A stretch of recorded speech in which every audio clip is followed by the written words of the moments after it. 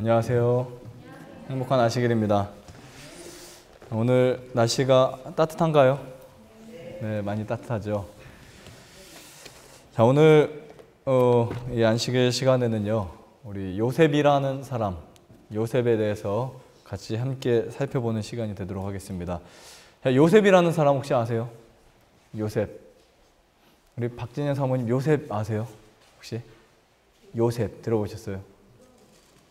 네. 우리 그 가구 보면 요셉이네 할인만 매장도 있더라고 그죠? 요셉. 어, 많은 사람들이 알고 있는 그 이름입니다. 아, 요셉이라는 사람은요, 이 사실 그 애굽의 역사에도 굉장히 많은 힘을 공로를 썼던 사람이었어요. 애굽의 역사에도 그 역사 책들을 보면은 뭐 이렇게 아주 그, 그 세세한 책들에 보면은 그런 이름이 박혀서 나오기도 합니다. 예를 들면 성경에는 고레스라는 사람이 나오죠. 고레스. 근데 역사책에는 고레스라는 이름 대신에 키루스라는 사람으로 나와요. 누반네 왕이라는 사람도 그렇고 약간 그 이름이 다르게 나오지만 뭐 어쨌든 나옵니다. 요셉도 나옵니다. 애굽에 굉장히 큰 공로를 쌓았던 사람. 애굽 역대에서 어, 이, 그 힉소스 민족이 쫓겨나고 애굽 본토가 그 아, 본, 치리하기 전에 그 힉소스 민족의 샘족 계통의 그 애굽 당시에 애굽을 굉장히 이제 그 이끌었던 총리 중에 하나로 이렇게 뽑히는 사람인데요. 자, 이 요셉이 과연 그 애굽의 가장 높은 어떻게 보면 바로가 그랬죠. 나보다 내가 내가 너보다 높은 것은 보좌밖에 없다라고 했을 정도의 요셉이 그 위치까지 올라갔을 때 요셉은 도대체 어떠한 인내와 또 어떠한 그 성실함과 또 어떠한 삶으로 그것을 우리에게 보여주었는지를 오늘 말씀으로 보겠습니다.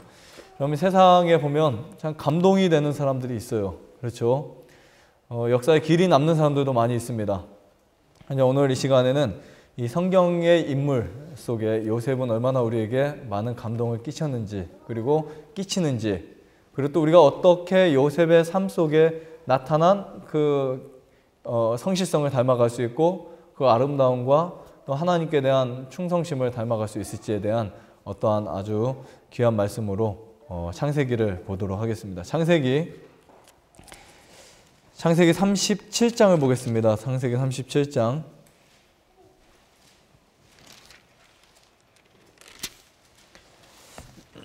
37장 1절부터 살펴보겠습니다. 37장 1절부터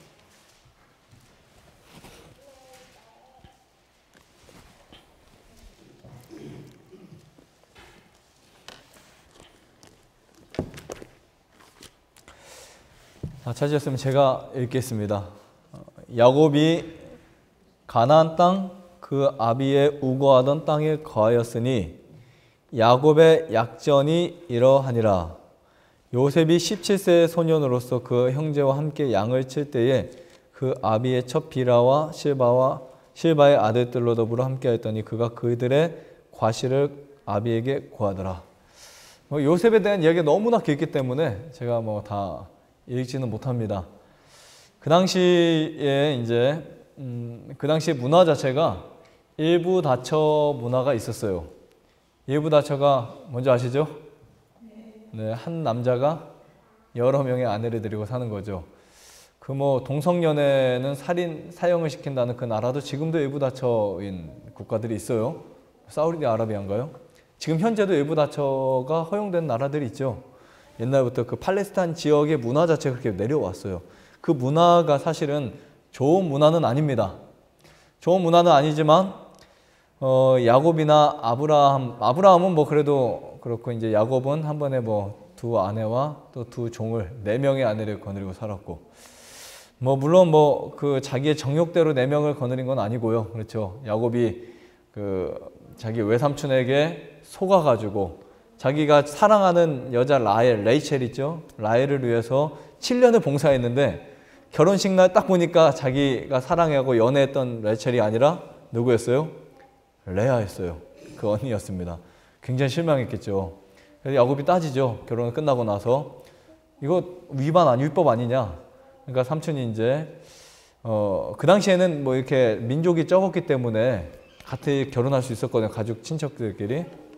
외삼촌이 이제 내가 그러면 언니를 너에게 줄 테니까 몇 년을 더 일해라. 네, 7년을 더 일해라. 해가지고 이렇게 두 명의 아내를 어쩔 수 없이 얻게 되었고 또 두 명의 첩을 또 얻게 되는 뭐 그런 상황을 살게 됩니다. 그러면서 이 네 명의 두 명은 친아내고 두 명은 첩이었죠. 그 종이었죠. 그 네 명을 통해서 몇 명을 낳았을까요? 네, 딱 12명을 낳았어요. 근데 이 야곱이 가장 사랑했던 레이첼을 통해서 낳은 아들은 몇 명일까요? 진짜 사랑하는 아내. 이 여자 때문에 몇 년을 일했냐면 거의 14년 넘게 일했어요. 종으로 일한 거예요. 그러니까 한 여자를 위해서 7년을 일해서 그 여자를 딱 결혼하기로 약속을 했는데 그 언니가 네, 그 언니가 사실 얼굴도 안 예쁘고 그다음 몸매도 별로고 그다음에 뭐 여성의 어떠한 미가 안 풍겨났대요. 그 책 보면 그래서 안 나간 거예요. 시집을 갔어야 됐는데 못 나간 거예요.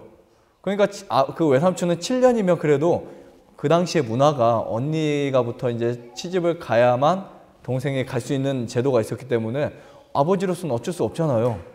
그러니까 이제 그 언니를 7년이면 그래도 누군가 데려가겠지. 근데 7년 동안 아무도 안 데려간 거예요. 그리고 나서 7년 후에 보니까 결혼하는 날짜는 약속하기로 날짜는 다가오고 그래도 문화를 지키기 위해서 라반은 그 외삼촌은 그 언니를 줬죠.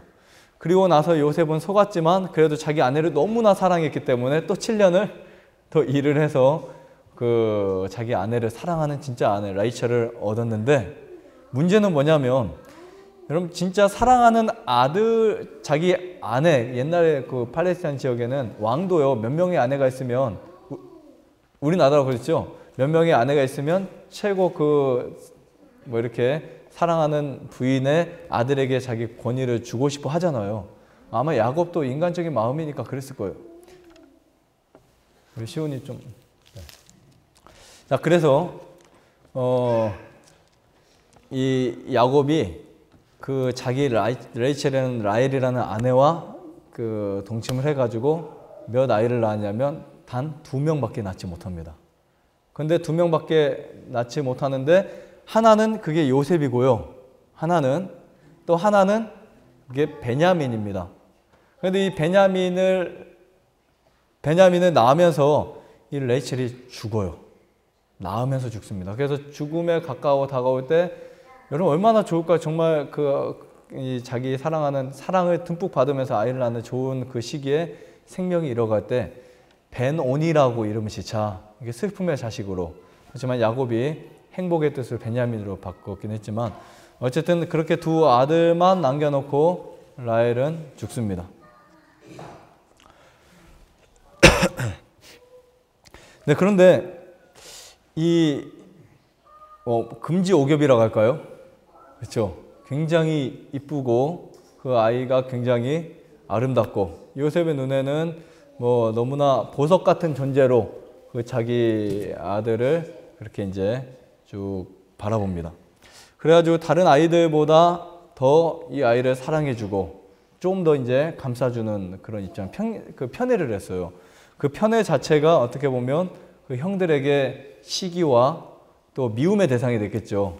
그리고 또 요셉이라는 성격 자체는 굉장히 곧고 바르고 정직했지만 문제는 직설적이었어요. 그러니까 형들이 뭔가 이렇게 잘못을 하면 막 가서 말하고 마, 말을 안 들으면 아버지에게 고자질합니다. 아버지 형들이 정직하지 않게 뭐 거래를 합니다.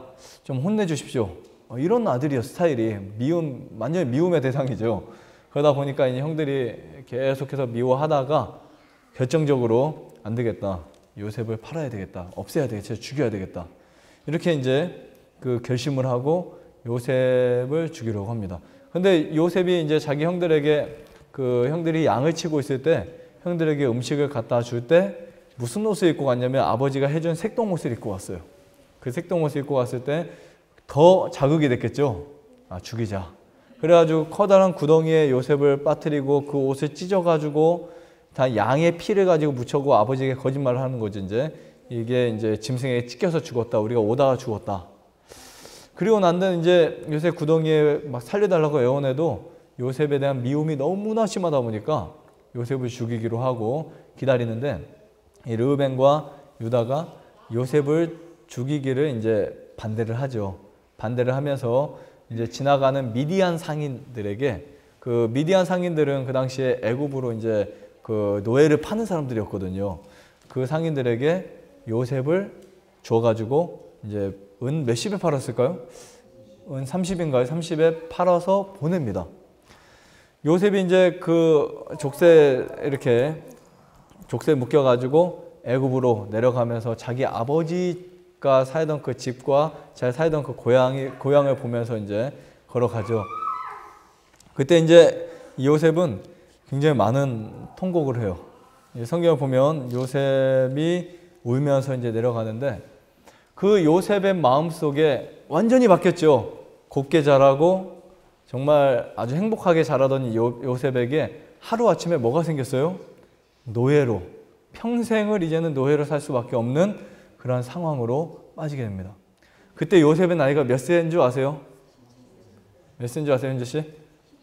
17세였어요. 17살. 그 나이에 팔려갑니다. 아주 뭐 외모도 곱고 체격도 아주 좋고 이 아이가 이제 팔려가는데 이제 마음속에 결심이 생깁니다. 이제는 피할 수 없잖아요. 요셉이 더 이상 이제는 어떻게 뿌리칠 수도 없고 소리를 질러도 들어주는 사람도 없고 이제 아무도 없습니다. 더군다나 이국의 땅 애굽으로 가는데 그 애굽에는 국제 노예 시장도 있어요. 그리고 잘못하면 국제 감옥도 있어요. 거기서 이제 요셉은 평생 어떻게 될지 모르는 자기의 삶을 보면서 한없이 슬프기만 하지만 그때 요셉이 생각을 바꾸기 시작했어요.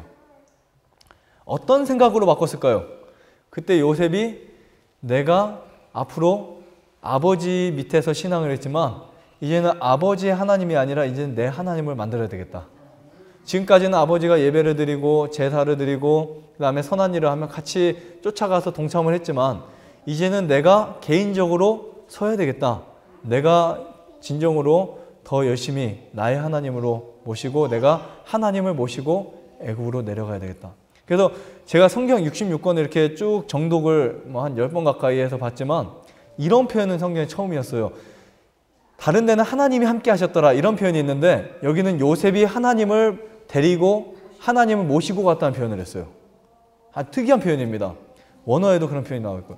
그러니까 모든 곳에 성경은 하나님이 다윗과 함께 했더라, 하나님이 베드로와 함께 했더라 이런 표현으로 적혀 있지만 여기에 표현은 여기에 표현은 요셉이 하나님을 모시고 갔다는 표현을 썼어요.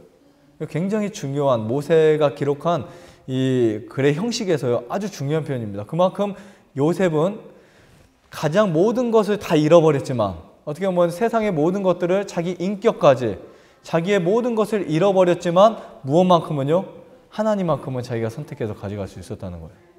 하나님 한 분만큼은 자기의 가슴에 모시고 마음에 모시고 어디를 가든지 갈 수 있었다는 사실을 성경은 말하고 있습니다.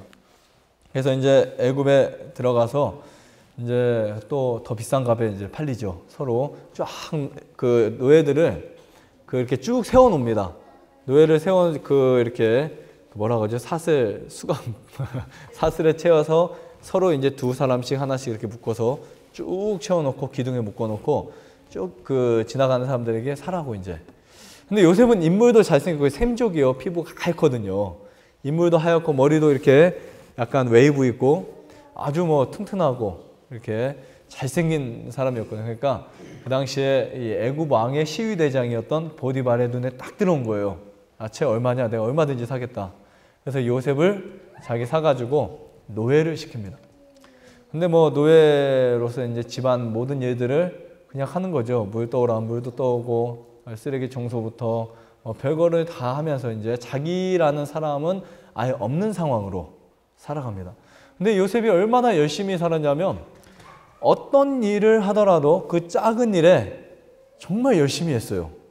감사해 하고 행복해 하고 기쁘게 하고 하다 보니까 이 시위대장 보디발의 눈에 요셉이라는 사람이 아주 인격적으로 보나 신앙적으로 보나 타협하지 않고 정직하고 정말 이 성실한 요셉을 이제 가장 높은 지위에 올려줍니다. 그 모든 그 자기 집의 가게를 맡는 일을 이제 맡기죠. 근데 요셉이 이제 그렇게 열심히 사는데 요셉에게 하나의 시험이 오게 되었어요. 어떤 시험인지 아세요? 자기 인생을 바꾸는 엄청난 시험을 오게 됩니다. 그 요셉 보디발의 아내가 요셉을 좋아하게 됩니다. 그러면서 내가 너를 사랑하고 좋아할 테니까 나랑 하자. 그리고 이제 그 요셉에게 자기의 모든 것을 주고 그때 이제 요셉이 어떤 결정합니까? 자기 주인을 뭐 하지 않는다고요? 배신하지 않겠다 해가지고 포기하고 요셉의 그 보디발의 아내가 요셉을 감옥에 보내는 그런 엄청난 사건으로 이제 요셉을 다시 돌변시키죠. 어떻게 보면 요셉은 거기에서 매주 안식일을 지켰어요. 한 번도 빼지 않고 그리고 자기가 정갈한 음식을 먹고 그리고 거기에서 자기 하나님을 위해서 정해진 시간에 기도를 했고 내가 죽는 일 있어도 이것만큼 지키겠다. 내 신앙의 원칙에 손상 가는 것은 난 하지 않겠다. 하지만 이것만 하면 나는 뭐든지 무엇이든지 내가 여기 충성하겠다. 그러니까 그런 요셉의 믿음과 순결성을 인정받았죠. 하지만 이제 그 보디발의 아내에 의해서 감옥에 갈 때 요셉은 다시 한번 엄청난 절망으로 빠지기 시작했어요. 그럼 보세요. 요셉이 거의 10년을 거기서 일했거든요. 노예로. 17살 때 가가지고 27살 때까지 일했어요. 근데 그 10년 동안 요셉은 이제는 거의 뭐 그 집주인이나 마찬가지로 거의 이제 지위도 올라가고, 물론 노예였지만, 그래도 이제 좀 더 행복하게 살 수 있을 만 하니까 또 요셉에게 그런 또 이제 시험이 오잖아요. 어떻게 보면 요셉이 뭐 평생을 살면서 죄를 져봤자 얼마나 졌고, 얼마나 잘못을 해봤자 뭐 얼마나 했겠습니까? 근데 요셉의 그 상황이 이제는 이해할 수도 없고 어떻게 납득이 가지 않습니다. 그래서 요셉이 이제 그 국제 감옥에 들어갈 때 굉장히 살벌하죠. 국제 감옥에 들어갈 때 한탄하기 시작했어요. 아, 내가 정말 버림을 받았나? 내가 하나님께 버림받았나? 하지만 요셉이 그 근심 걱정을 며칠 만에 하루 이틀 만에 툭 털어버리고 다시 하나님의 그 말씀으로 푹 빠지기 시작했고 다시 자기 마음을 정리하기 시작했어요. 그러면서 거기에서 할 일을 찾습니다. 내가 여기에서 다른 사람들에게 무엇을 도와줄 수 있을까? 자기 형편에 그렇죠. 내가 여기서 어떤 어떤 봉사를 할 수 있을까? 내가 여기서 어떤 가치 있는 일을 할 수 있을까?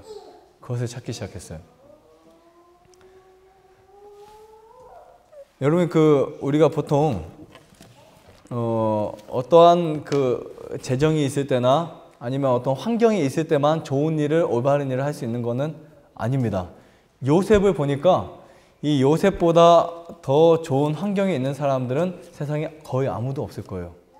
근데 요셉은 그 감옥에서 자기 할 일을 찾고 사람들에게 상담을 하고 마음이 어려운 사람들에게 위로를 하는 일을 하기 시작했어요. 뭐 인간 콘서 트를 이제 하기 시작했죠. 그러면서 사람들에게 인정을 받다가 또 역시 감옥에 무엇이 됐을까요? 감옥에 뭐라고 하죠? 감옥 간수가 되었어요. 감옥 최고 높은 사람까지 되었어요. 네. 그렇게 요셉은 열심히 살았습니다. 여러분 사실 우리는 우리가 살아가는 데 있어서 내가 열심히 살아가면 그만큼 누군가 보게 돼 있고 인정받게 돼 있어요. 맞습니까? 정말 내가 열심히 살고 뭔가 노력을 하면 그 노력은 반드시 다시 나에게 돌아오게 됐어요. 창세기 40장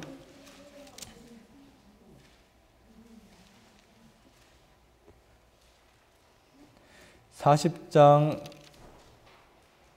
20, 어, 21절을 보겠습니다. 40장 21절. 제가 읽, 읽겠습니다. 한번 보세요.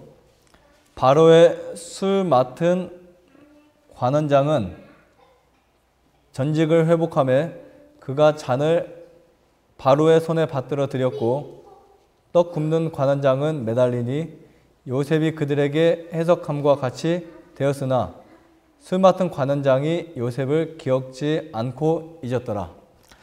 자, 여기 내용은 뭐냐면 요셉이 그 감옥에 있을 때 두 명의 그 바로의 관원이 들어왔는데 한 관원은 술 맡은 관원이었고 한 관원은 빵 굽는 관원이었어요. 근데 이 두 사람이 둘 다 꿈을 꿨는데 한 관원에 대한 해석은 이제 그 복직을 하는 그 해석을 해줬고 한 관원은 사용을 당할 것으로 요셉이 이렇게 말을 해줬죠. 그리고 나서 이제 얼마 후에 3일 만에 그 꿈이 적중하면서 그대로 이루어집니다. 이루어지면서 이제 요셉이 말을 하죠. 포도주를 따라주던 사람에게 만약에 당신이 왕에게 가면 나의 억울함과 내가 지금 요셉이 감옥에 3년 동안 있거든요. 그래서 요셉이 만 30세에 총리가 됩니다. 3년 동안 있어요. 내가 지금 억울하게 2년, 자, 뭐 거의 뭐 몇 개월 동안 지금 있었지만 이것을 풀어주시고 좀 해결해 달라고 이제 요셉이 간청을 합니다. 근데 이 술 맡은 관원이 너무나 기쁜 나머지 요셉의 일을 깜빡 잊은 거예요. 그래서 이 관원이 들어가도 아무 소식이 없고 아무 뭐 이렇게 정보도 없어서 요셉이 뭐 실망을 하면서 야, 정말 나에게는 이제는 더 이상 뭐 갈 데가 없구나 이런 그 실망감으로 절망에 계속 빠지게 됩니다. 그래서 이 히브리 원어를 보면요 아주 재밌는 표현이 있어요. 요셉의 감옥이든 구덩이든 요셉의 가는 곳마다 그 히브리어에는 뭐라고 써 있냐면 구덩이라고 써 있어요. 구덩이. 요셉의 구덩이. 그래서 어떻게 보면 이 감옥은 요셉에게 감옥이 아니라 사실은 구덩이라는 표현이 훨씬 더 적합한 표현입니다. 첫 번째 구덩이는 그 형들을 통해서 빠진 구덩이였고 두 번째 구덩이는 뭐 그 바, 그 어디 뭐지 보디베알의 그 집이었고 세 번째 구덩이 감옥이었고 이런 요셉의 구덩이가 있어요. 거기에는 인간의 나약함의 구덩이가 있었고 실망과 배반의 구덩이가 있었고 또 분노와 좌절의 구덩이가 있었고 그 구덩이마다 빠져봤지만 요셉이 그 구덩이에서 올라오는 방법을 터득한 거예요. 어떻게 올라올 수 있었을까요? 그 깊은 구덩이에서 하나님을 의지했을 때 요셉이 그 구덩이에서 탈출할 수 있는 방법을 깨닫게 된 겁니다. 지금 또 이 구덩이에서 지금 헤매고 있어요. 아 이제는 더 이상 나 내가 갈 곳이 없구나.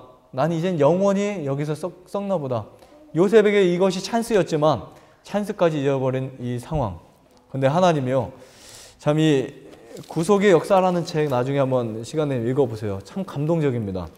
이 책의 부주와 선지자 애굽에서 요셉의 그 장을 읽어보시면 어떤 표현이 있냐면 하나님이 시간이 되었을 때 때가 찼을 때 그 거대한 손으로 옥문을 열려고 준비하고 계셨다 이런 표현이 있어요. 요셉은 나오고 싶고 아무 뭐 조짐도 없었지만 하나님이 그 시간에 열려고 계획하고 계셨어요. 그때 애굽 왕 바로가 무엇을 하게 돼? 꿈을 꿉니다. 꿈을 꿔요. 두 번의 꿈을 꿉니다. 한 꿈은 한 꿈은 무슨 꿈이죠? 예? 살찐 소가 마른 소가 나오죠. 근데 나중에 살찐 소를 마른 소가 잡아먹는 이야기. 하나는 또 곡식이 나오죠. 네. 그런데 이 두 꿈을 이제 그 꿨는데 아무도 이것을 해석해 주는 사람이 없는 거예요. 그래서 이제 그 떡 맡은 관원이 이제 생각이 난 거예요. 아, 2년 전에 2년 전에 내 꿈을 이렇게 풀어줘 가지고 여기까지 내가 오게 된 나의 어떠한 꿈의 은인이 있는데 하면서 이제 그 이야기를 바로에게 해줍니다. 그 당시 바로는 히브리 노예의 요셉을 막 꺼내서 하기는 약간 솔직히 쪽팔린 일이었지만 그래도 자기 꿈이 너무나 궁금했기 때문에 요셉을 부르기 선택했어요. 그 요셉에게 이런 말을 합니다. 네가 내 꿈을 맞출 수 있다. 해석할 수 있다. 한, 어, 한다고 내가 소리를 듣다. 그때 요셉이 당신의 꿈을 알릴 사람은 내가 아니라 하나님이시라고 이제 겸손하게 표현하고 있고 자기를 통한 하나님의 그 뜻이 어디 있는지 이제 보기 시작했죠. 하면서 그 꿈에 대한 해석을 요셉이 하기 시작합니다. 7년 동안 애굽에 엄청 큰 풍년이 온다. 그리고 그 풍년이 끝나면 그 풍년을 잊어버릴 흉년이 온다. 꿈을 두 번 꿨다는 것은 정확성을 말한다 해가지고 그 꿈대로 이루어졌어요, 진짜로요. 그래서 그 애굽의 역사에 곡, 애굽의 그 곡창 엄청난 곡창 있죠. 그 곡창에는 밀, 옥수수 이런 거를 완전히 어마어마하게 쌓아놨는데 그 이야기가 그게 실제로 역사에 남아 있습니다. 이런 이야기들이. 근데 그 애굽에서 이제 그 풍년일 때 요셉이 어떤 선택을 했냐면 세금을 엄청 올려가지고 5분의 1을 받았죠. 5분의 1을 받아서 계속 쌓아놓은 겁니다. 그리고 나서 나중에 이제 팔았죠. 근데 이제 그 해석을 듣고 나서 이 바로 왕이 이러한 그 재물을 맡을 만한 사람을 찾아보는데 아무리 찾아도 없는 거예요. 근데 요셉이 보디발의 집에 있을 때 우리 현주 씨 요셉이 보디발의 집에 있을 때 무엇을 배웠을까 혹시? 거기서 그냥 일만 했을까요? 노예로서 아 나는 노예니까 아무것도 개발하지 말고 일만 하면 돼라고 했을까요? 밥만 먹고 그렇게 했을까요? 뭐 월급도 안 받는데 그냥 뭐 나는 이렇게 눈치 보고 일만 하지. 그랬을까요? 아니에요. 요셉이라는 이 특유의 성격 자체는 일만 한 것이 아니라 배우면서 했어요. 자기가 거기에서 과학도 배우고 네, 어학도 연수하고 애굽의 여러 언수 그 다음에 거기서 여러 가지를 배우면서 자기 를 개발시키기 시작했어요. 그곳에서 일 하나를 하더라도 자기를 개발하고 어차피 시간은 갔거든요. 그래서 그렇게 개발시켰던 직무에 관한 지식, 어학에 관한 지식, 과학에 관한 지식 그런 것을 배웠던 이 요셉에게 경험적으로 배웠던 요셉에게 사실 바로 왕이 조사를 했을 때 그게 다 나오지 않았을까 그렇죠? 바로 왕이 이제 그 요셉에 대해 조사를 합니다. 요셉이 감옥에 있을 때 어떤 인물이었으며 요셉이 보디발의 그 감옥 그 종으로 있을 때 어떤 사람이었는지를 쭉 조사를 시켜봤어요. 조사해 보니까 완벽한 인물이에요. 그렇죠? 우리 읽어봤죠 이 책을 완벽한 인물이에요. 뭐 재정의 관리, 뭐 10원 하나 틀리지 않고 그 다음에 뭐 그 노예들 관리하는 거, 그 다음 옥중에 사람을 위로하는 거, 그 다음에 또 그의 어떤 민첩성, 성실성 이런 것들 하나를 봐도 하나를 봐도 흠이 없는 사람이었어요. 그래서 이제 그런 모든 것을 확신을 하고 요셉에게 그 자기의 모든 업무를 맡기기로 결심합니다. 그리고 나서 요셉의 이름을 바꿔줬죠. 뭘로 바뀌었어요? 사분합바네한가요? 네, 사분합바네아로 바뀌었습니다. 거기 요셉이 애굽에서 몇 명의 아내를, 아들을 낳은 줄 알아요? 몇 명의 자식이 낳았죠? 몇 명이? 두 명을 낳았죠. 두 명을. 이 요셉이 그렇게 자기가 매일의 생활 속에서 어, 배웠던 지식들이 그리고 배웠던 그러한 사소한 것들이 이제는 애굽의 총리가 될 수 있다는 충분한 가능성을 암시해 주었죠. 이런 표현이 있어요. 요셉의 신앙과 성실은 불같은 시련을 겪었다. 그 다음에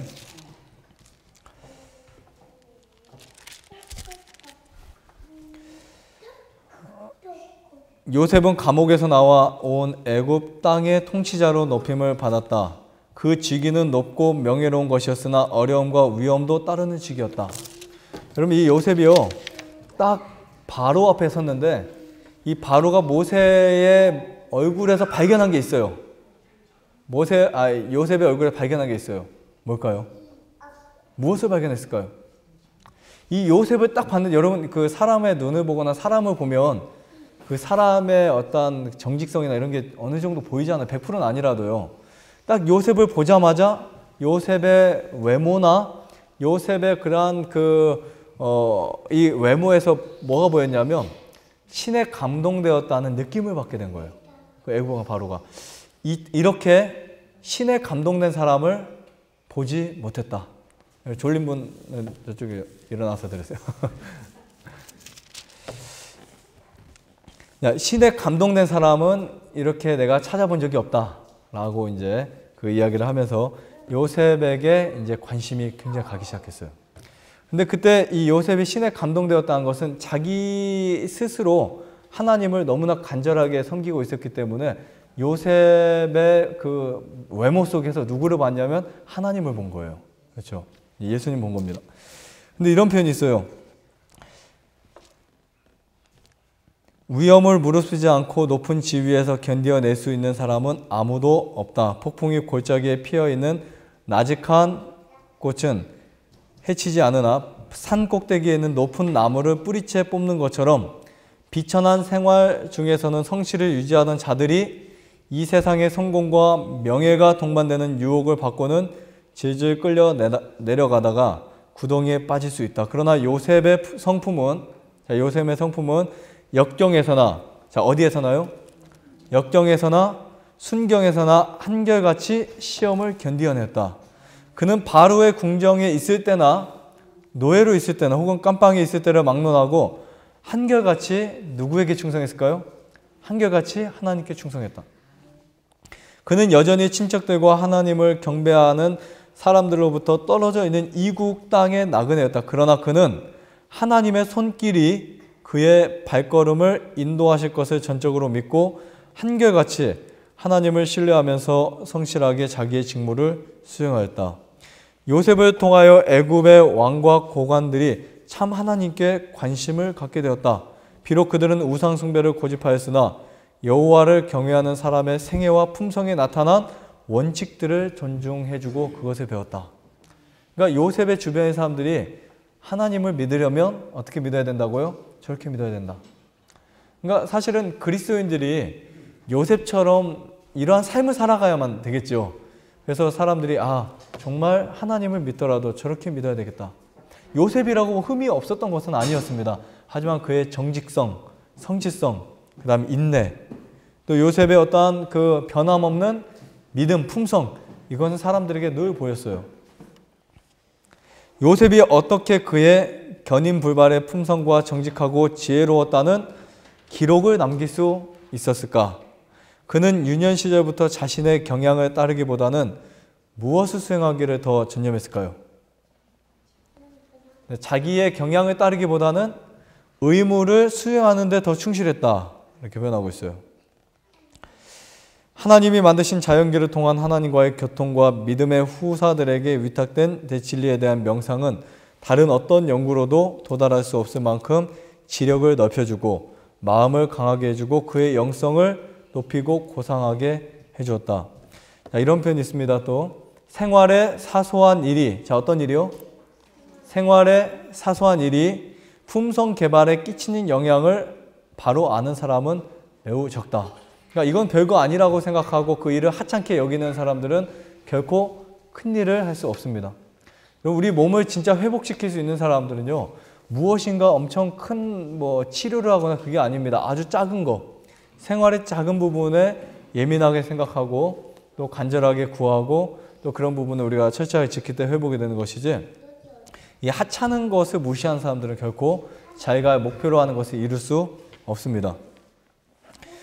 우리가 날마다 직면하는 여러 가지 환경은 우리의 충성을 시험하여 우리로 하여금 더 큰 책임을 질 자격을 갖추게 된다. 일상생활의 업무 처리에서 원칙을 고수함으로 마음은 향락과 쾌락의 추구보다 의무의 수행을 더욱더 존중하게 된다. 자, 정직한 품성은 오빌의 금보다 더 가치가 있다. 이것이 없이는 아무도 영광스럽고 높은 지위에 오를 수 없다. 이것은 돈으로 살 수 없다. 자, 마지막으로 한 말씀 같이 읽겠습니다. 제가 읽으면 따라서 읽어주세요. 기회는 하나님께서 주시나 성공은 그 기회를 사용하는 데 달려 있다. 자, 기회는 누가 주셨다고요? 네, 하나님께 주셨어요. 요셉에게 그 기회를 주셨지만 자, 성공은요?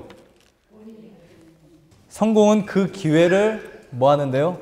사용하는 데 달려 있다. 여러분 오늘 이 말씀 꼭 기억하시고 기회는 하나님 주셨지만 내가 병에 낫는 거 아니면 무엇을 성공하는 거 이것은 그 기회를 내가 어떻게 사용하냐에 따라서 달려있다는 사실. 그래서 오늘 요셉과 같은 아주 순결하고 아름다운 모습으로 저희를 모두가 바뀌고 더 감사할 수 있는 귀한 시간들이 되시기를 바라면서 마치겠습니다.